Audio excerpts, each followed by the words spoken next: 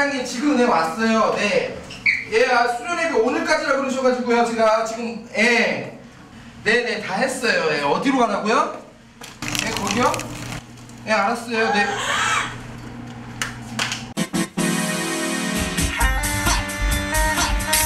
청춘 차량! 청년 돌파!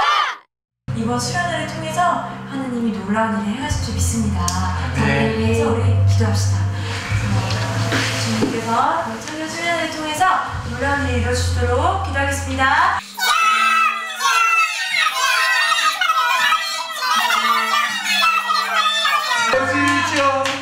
네, 그럼 우리 진한 형제님 기도를 마치도록 하겠습니다.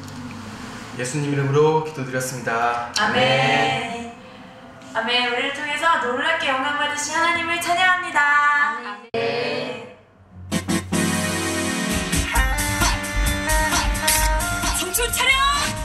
돌파!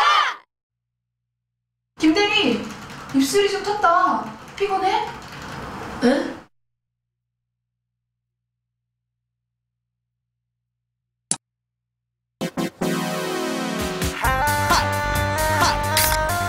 차량! 청년 돌파! 이거 뭐야 뭐야 뭐야 뭐야 왜? 잠깐만 나 소감 써 잠깐만 기다려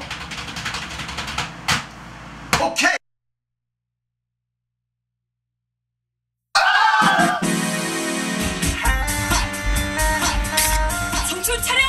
청년 돌파! 가시죠. 네. 네 가요 어머 선생님 오늘 내가 쏜다. 10만 원 10만 원? 선생님 10만 원? 네 알겠어요